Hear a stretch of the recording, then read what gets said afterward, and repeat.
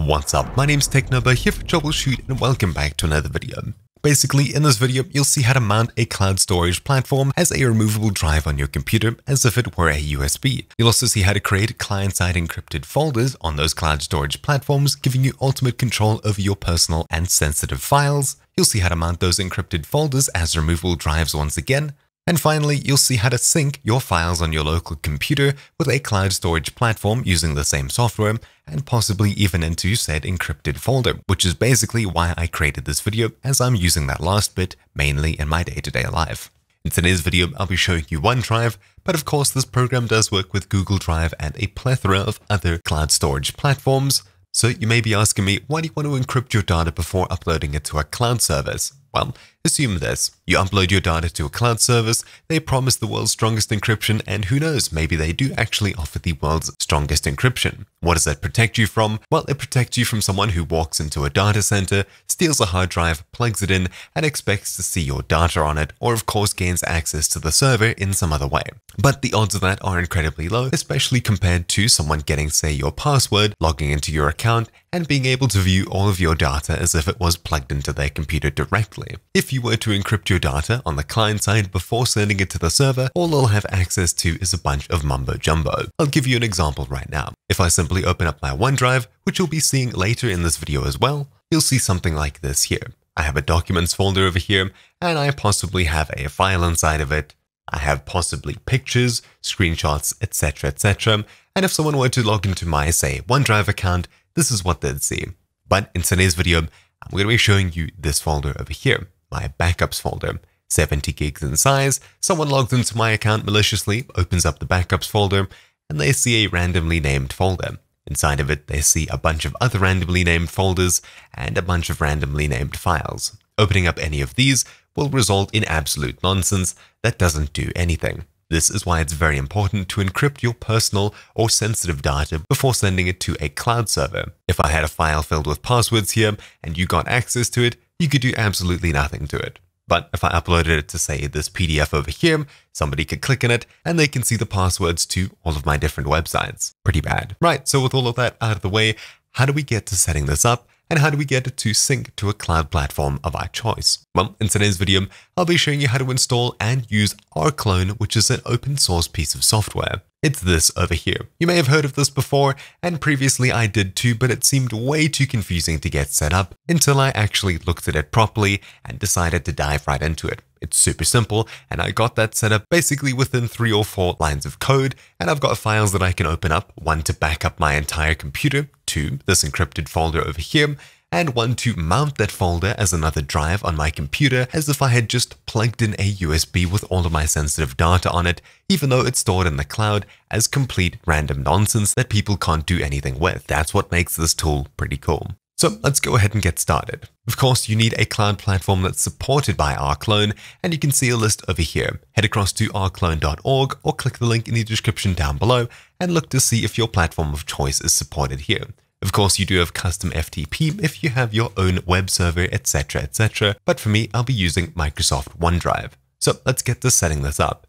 If you get confused with the actual setup, you'll see a home button as well as a config button next to the platform of your choice on rclone showing you exactly how to set it up and the steps that you need to follow. So if you get lost, this is a good place to start. But before we get there, let's actually download rclone and see what we need to do.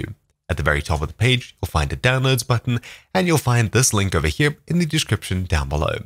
Simply select the correct platform. I'm running Windows on a 64-bit PC, so I'll click the download here. Of course, if you're running something different, click any of these other links. Once the zip finishes downloading, click it to open it up, and it'll be extracting this folder into a safe place like our desktop. Doesn't really matter where you put it, just put it in somewhere accessible. I'll open up the folder, and inside of it we have this here. There's a README file, you can go ahead and scroll through if you're curious, but it does go pretty in depth with some commands, etc, etc. I'm not going to be touching on this. All I'm going to be doing is showing you exactly what you need to do to get OneDrive set up and of course an encrypted folder inside of it. If you'd like to see me do this to other platforms as well, do make sure to leave a comment down below or at least follow along with this guide as close as you can, swapping out the platform for your platform where necessary. All you have to do here is click at the very top over here in the file path and type in cmd then hit enter. That'll bring up a command prompt window as such. Now, because I've already got this set up on my main computer, I'm over here in the Windows sandbox, so I can show you a fresh install from the start. I've extracted the rclone folder over here that we just downloaded, and I'm able to open it up if I wanted. But of course, you'll see it's a command line tool that needs to be run from the command line. Anyway, we'll get there in just a moment. There's one extra thing that we need before we go ahead and start using the software if we'd like to mount a cloud folder like a USB. This is something that'll make life incredibly easy later, so let's go ahead and get it sorted out right now. In the description down below, you'll find a download link for WinFSP. Simply click Download WinFSP Installer, click Run or Save, and then when it downloads and opens up, follow along with the installer steps. So it's basically next, next, install, wait for it to finish, and then finish. Now that we've installed this, we'll be able to mount cloud folders as drives on our computer. Cool. Let's get straight to setup. First of all, to actually interact with rclone, at the very top in the folder's path, click here, type in cmd, and hit enter.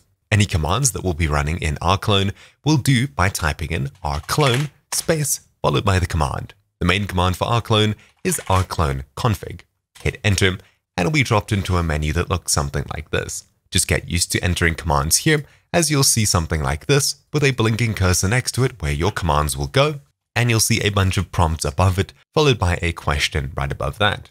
So to begin, we're going to be making a new remote. A remote is basically a cloud platform or a platform that rclone interacts with. So I'm going to be making a new one. I'll hit N and hit enter. I'll give it a name. I'd like to keep this to something short and simple, so for OneDrive, I'd call it, say, OD. This is what we'll be interacting with later. Remember the name here. After hitting enter, you'll get prompted with a huge list of all of the platforms that this program supports. Simply look for the platform of your choice. In my case, it's Microsoft OneDrive, Code 26, or OneDrive as such. You can enter either the text OneDrive as above or 26. I'll be entering OneDrive. After hitting enter, depending on the platform, you'll see a different login technique. If you're using OneDrive, you'll be prompted for an OAuth client ID. Usually it's recommended to leave it blank, and that's exactly what we'll be doing as we'll let the program do everything for us unless you know what you're doing. So client ID, leave blank and hit enter, client secret, leave blank and hit enter, and now we need to pick what platform it is. So it's OneDrive and it's simply global. It's not specifically for US government, Germany, or the Azure cloud over here for China. It's simply the global OneDrive. I'll enter global or one and hit enter. Then we see a prompt if we'd like to edit the advanced config, to which I'll say N for no and hit enter. Do we want to use auto config?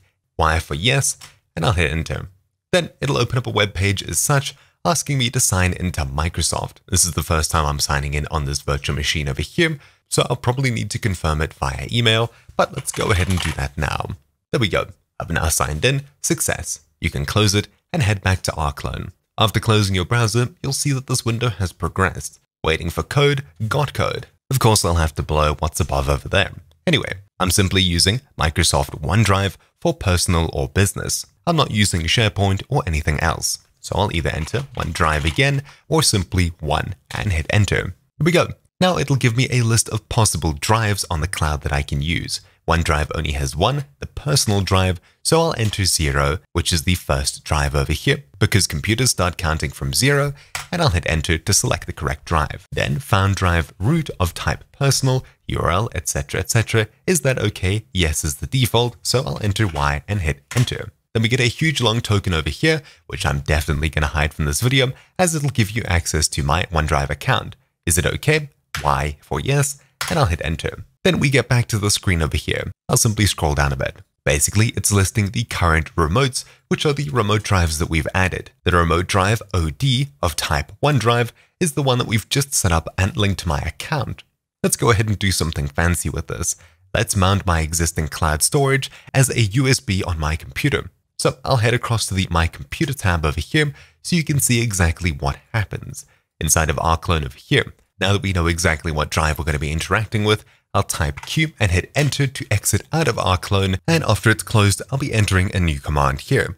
In this case, rclone space mount space followed by the remote's name, which in my case was OD, short for OneDrive. That's the first thing that I entered into the console, so OD colon space, and then followed by the drive letter I'd like to give it. In this case, I'll give it say X colon just make sure it's not an already used drive letter. After hitting enter, if you installed that WinFSP software that I mentioned earlier, it shouldn't give you this error over here. I think this is possibly giving me this error as I'm currently using a virtual machine. I don't think I need to run this as admin. Let me quickly check that. Yep, it seems to be because I'm on a virtual machine. But regardless, you may also see a notice like this. OneDrive root followed by a VFS cache mode, writes or full is recommended for this remote as it can't stream. If you use a cloud platform that doesn't support streaming, then it's a good idea to enter this command as well in our previous mount command. But let's quickly skip that step and head back to my actual computer so I can show you what this does. So I'm heading back to my actual computer, let's open up CMD again and I'll type in rclone space config. Here we go. OD OneDrive. There's another one down here, but we'll be getting there in just a moment. I'll quit out of it with Q and I'll be entering the same command, rclone mount od colon space x colon. And I'll head across to my My Computer so you can see what changes over here. I'll put it there. There we go. After hitting enter, I've got a password on my config, so I'll enter that here. Correctly, that is. And you can see here the same notice that we saw earlier. If I can't type anything, I'm still in the program. As you can see here, it's telling me it's a good idea to define VFS cache mode as either write or full for this cloud service, and it says the rclone service has been started. And as you can see, over here I have an ODX folder. Opening this up, you'll see my OneDrive contents as it is on the website. The backups folder should be fully encrypted. As it is, you can't do anything with the data in here. And the OneDrive PDF over here should simply open up with my PDF reader as soon as I open it up. There we go, it's displaying exactly as it would on the website, though this PDF reader seems to be rather slow. Anyway, I'll close out of this and head back to my command prompt over here. To actually close the service and dismount this drive, all you have to do is simply close the command prompt window or hit Ctrl C to end the task that's currently running. As you can see, rclone service was stopped and the drive disappeared over here. Let's quickly fix that VFS cache error. I'll hit up to get to my previous command, and in here, I'll go ahead and add hyphen hyphen VFS hyphen cache hyphen mode space either full or writes up here right before the drives over here. I don't think it quite matters where you put this, just as long as it's somewhere in the actual launch command over here. After hitting enter this time, entering my password, you'll see the rclone service was started and the X drive should pop up over here exactly as it did before and I think it should be a bit faster than it was previously, which it sort of seems to be. Definitely seems to be. Anyway, now we've successfully mounted our cloud service as a new drive on our computer. Let's get to the important part, the encryption part. For this, I'll head back to my virtual machine over here. So heading back to this window over here, let's type in rclone config, and you'll see that we're back to here, just having OD. Let's go ahead and start creating an encrypted folder on this cloud service that we can mount as another drive. What we're going to do is create a new remote by typing in and hitting enter. For the name, I'll give it something unique. I'll enter ODE so I know it's the OneDrive encrypted folder. That's the same thing as I've named it on my main computer. I'll hit enter and we see a huge list of things here once again. This time what we're looking for is this one over here, crypt. Number 11. Of course yours may be different, you may want to enter just crypt, so C-R-Y-P-T, and I'll hit enter. Then you'll see this here, remote to encrypt or decrypt normally should contain a colon and a path, so my remote path to directory. What I'm going to do is create a new folder on the OneDrive server that contains all of the encrypted files from this folder over here. So enter a string, it's going to be working on the OD colon, which is my OneDrive remote we defined earlier up here, as you can see. And inside of my OneDrive, I'll go ahead and create a new folder automatically called, say, test video as such. I'll hit enter and you'll see this here, how to encrypt file names, enter a string value or press enter for the default of standard. So we can choose standard to encrypt the file names or we can choose obfuscate, which is a very simple file name obfuscation, or we can choose to not encrypt file names at all, only adds a .bin extension. For me, I'd like people to not have any clue what they're looking at when they're looking inside of my cloud service. So I'll enter one for standard and hit enter. Then we can choose if we'd like to encrypt folder names. I'll choose one for true and I'll hit enter. Then we get to the password phase for this encryption. So what we're going to do here is enter two passwords preferably that are both different and hopefully very secure as they'll be protecting your files. So do I want to enter my own password? Yes, I want to enter my own password. I'll hit Y and then enter. I'll enter the password here. For this video, I'll make it something simple. Then I'll hit enter and type in it again to confirm it. Then we see password or passphrase for salt, optional but recommended. We can choose to leave it blank, which isn't the best. We can generate a random one, or we can enter a second different password, which I highly, highly recommend. I'll hit Y, hit enter, and I'll enter a second password. And another time, and I'll hit enter. Then we get to the advanced config, to which I'll say N for no, and hit enter. Then we see ODE type crypt Remote is inside of my OneDrive directory under the test video folder. File name encryption standard, directory name encryption true, password 1, password 2 both encrypted. Is this correct? Y for yes, and I'll hit enter. There we go. We now have OneDrive, OD, and my ODE, which is my encrypted folder inside of the OneDrive server up here. Let's quit out of it and let's get to mounting my encrypted folder. To do this, I'll have to show you on my PC again as I can't mount on this virtual machine. So I'll go back out of the OD folder over here, dismount it, hitting Control C to stop the program, and we're back to here. If I enter rclone config, enter my config password, you'll see that I've already got an ODE here, but this is my personal one that points to the backups folder rather than the test video folder that we just created. So this is also something you can do if you'd like to install this program and use it on a second computer. If you'd like to add an existing remote file or folder, simply add a new one here into the config. Name, I'll enter something unique, like say video, and I'll hit enter. Then the type is crypt, and I need to give it a folder. If I have a look inside of my OneDrive directory using the internet, you can see the folder doesn't actually exist. But that's fine, we can still point to it. I'll go ahead and enter the cloud service, which was OD colon for OneDrive in my case, and I'll enter the folder name, which I'm pretty sure is case sensitive, or at least it should be. So the folder that the files are in is test video as such. Then I'll hit enter. Then we'll choose the exact same settings that we chose previously. So standard file name encryption, encrypt file directories, yes, enter my own passphrase, and I'll enter my password here, the same as I did previously, twice. Then I'll also enter my own salt, so I'll hit Y, enter, and I'll type in my salt password that I entered earlier. Would I like to edit the advanced config? No. Is this okay? Yes. And enter. Now we're done. We've put it over here. Let's get to mounting it. To mount our encrypted folder, all we have to do is quit out of rclone with q and I'll type in rclone mount space followed by the drive's name, which in this case was video colon. And on my virtual machine over here, it was previously ODE. Just keep that in mind. And I'll enter the drive letter. In this case, we'll mount it to say Z colon. And I'll hit enter. I'll enter the password for my config, which we'll get to later. And you should see that the folder is mounted in just a moment. Of course, it's complaining about the VFS cache thing again, so I'll hit Control C to stop it, up to my previous command, and I'll enter it here. VFS cache modes, full, and I'll hit enter to mount it again. Of course, I've mistyped something. There we go. It should now be mounting. Cool. It's now started, and the folder should appear here. I can open it up, and it's blank as expected. I'll go ahead and open up my OneDrive in a web browser as well over here. Refreshing the folder, you can see that there's still no test video folder in here. That's fine. Let's get to creating a file, say a text document, tests and I'll enter, hello, this is a test. I'll save it with Control S, and immediately you can see a new folder has appeared on OneDrive, the test video folder.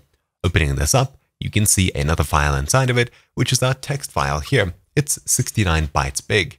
Opening up the text file on my PC, you can see it's only 21 bytes. Don't worry about this too much. Encryption will add a little bit of extra storage that's used, but it will really be negligible, especially compared to trading off a tiny bit of space for security. I'd much rather have security over a tiny bit of space. Let's download this text file and let's put it in the same folder and give it the correct extension of .txt.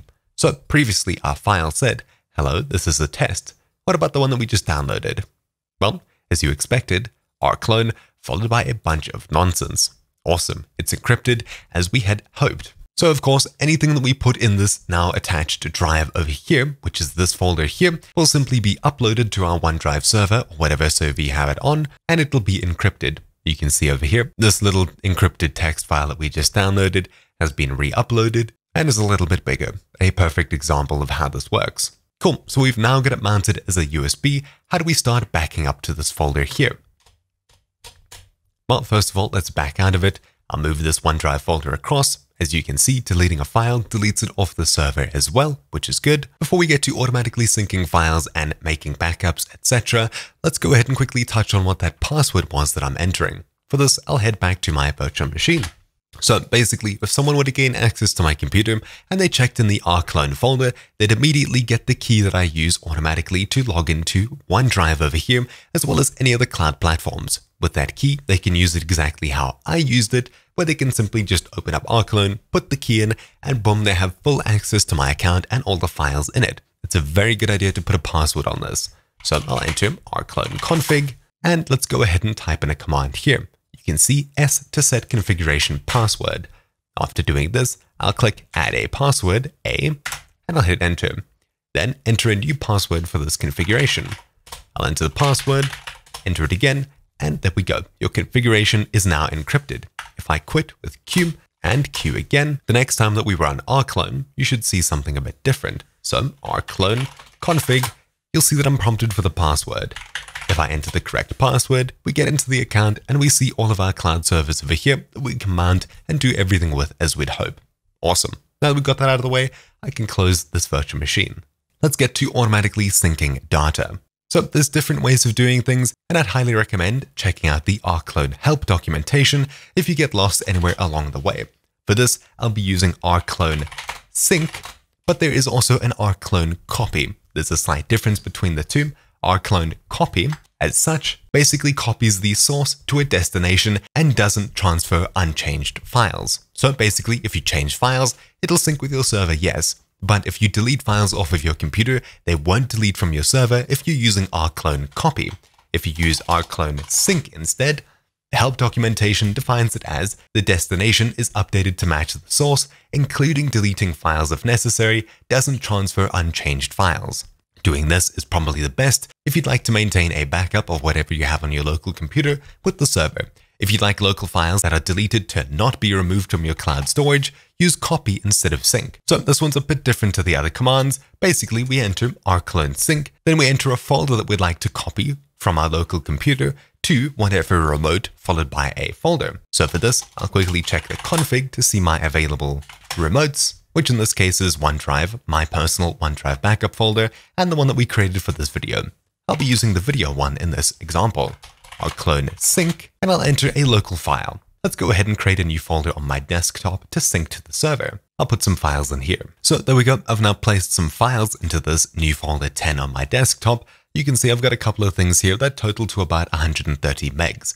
Let's sync whatever's in this folder here to a folder on our cloud server. What I'll do is I'll copy the folder path at the very top and we'll head back to our command prompt window.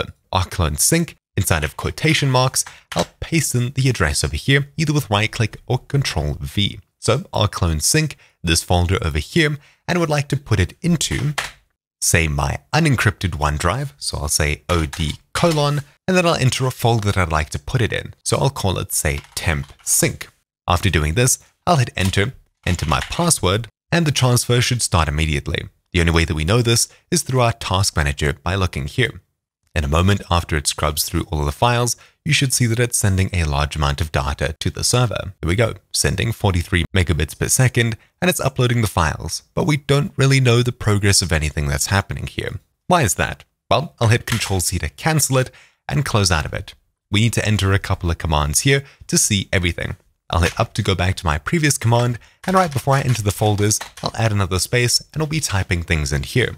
This is where we previously entered something special. Anyway, for this, I'll be entering hyphen hyphen stats hyphen log hyphen level space in all caps notice. This will turn on logging and only show notices. Then I'll hit space hyphen hyphen stats and I'll enter space 2s. So every two seconds we'll get statistics from rclone space hyphen hyphen transfers Space followed by a number lets us choose how many concurrent uploads we'd like to do. I'll say maybe 5. You can of course set this higher or lower depending on your internet speed and computer. These are usually the only ones that I add so far, I don't add much else. Anyway, from here, let's go ahead and hit enter, enter our password, and this time you should see something a little bit different. It only showed us one status, which was basically telling us that yes, the files have been uploaded and things are working as expected. You would have seen a bit more if we had to actually upload the files again. Opening up my OneDrive over here, heading back to the home directory, you can see a new folder called temp sync. Opening it up,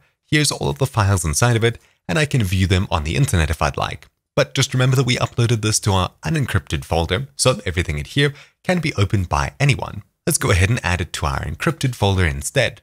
So I'll hit up and I'll change it from OD to our encrypted folder, which could be ODE, or in this case, I called it video. I'll hit enter, enter my password again. This time you should see a bit more info than previously. When it eventually gets started, you'll see something like this, the files that it's currently transferring, as well as the file sizes, the transfer speed, etc, etc, and eventually it'll tick through until it's done. Something that you can do here is lower the size of the window to basically match whatever you see on screen. Doing this will help you see a little bit better. It'll tick through as such, simply updating this little bit, rather than distracting you with a whole bunch of text above it. Though that's of course up to user preference, and only something that you can do. In my case, it's something that I do do, as it's a bit easier than looking at all of the stuff over here as such. Anyway, now the files should be successfully uploaded. If I have a look at my OneDrive here and head into the test video folder that we just added files to, you'll see a new folder inside of it, which is because we basically told it to create a folder called temp sync and sync this folder into it. This one over here is temp sync, and here's all of our files in it. Let's go ahead and mount this directory. rclone mount, I'll enter the same VFS cache mode, full, and I'll enter the address, which is video colon space followed by the drive letter, which I'll set to X. Opening up a new file browser, put it to the side, hit enter, enter my password, and you should see that it pops up over here in just a moment. Opening it up, we have a temp sync folder, and inside of it, we have all of the files that we just uploaded to the server. After a short while, you'll see the previews for everything appears, and if we open up, say, the image over here, you see it opens up properly, everything works as hoped. Awesome. Of course, to dismount it, you can just hit Control C, close the window, and it'll dismount from your computer, such as unplugging a USB. That's all very cool and nice to use, but you may not want to type things into this console every time you want to use that software. So what else can we do? Well, we can automate it. Let's go ahead and open up the rclone folder over here, and we'll be making two new batch files inside of it. A batch file is basically a folder containing commands that's run inside of command prompt. So I'll make a new text document, which I'll call mount.bat, and I'll get rid of .text at the end. Click anywhere, and yes, you can see file extensions by clicking view at the very top and making sure that file name extensions is checked.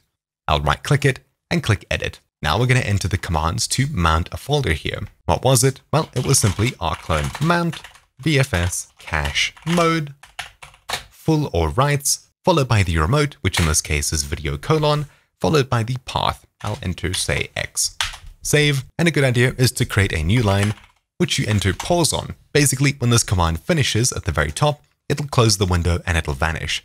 However, if it were to crash, the exact same thing would happen. If we enter pause, as soon as we close out of the program, it'll ask us to press any key to continue before closing completely. That way we can see errors that appear on the screen. If we go ahead and run this over here, you'll see it pops up, asks us for our password, and upon entering the password, you should see that it appears on my computer over here. There we go. We can now access the files in it. Awesome. Let's go ahead and make a new file for syncing. So right click, new, text document, and I'll be calling it sync.bat. I'll right click, edit, and inside of here, we'll be entering our sync command, which was rclone sync stats log level notice stats every two seconds transfers, I'll say 5, and we can enter other commands like say retries 5. So as soon as the file fails to upload, it'll retry uploading 5 times until it eventually gives up. This is pretty much unnecessary. You can have it at say 2 or whatever, or you could completely skip the step. Then I'll enter the folder names once again. So it's this desktop folder over here, and I'll be syncing it into, I think it was video followed by temp sync as such. I'll save it and once again enter pause. Upon running this file over here, it should immediately ask us for our password, which upon entering will start the syncing process to OneDrive using the command right above it, which it is, everything inside of the file matches what's already on the server, so nothing happens.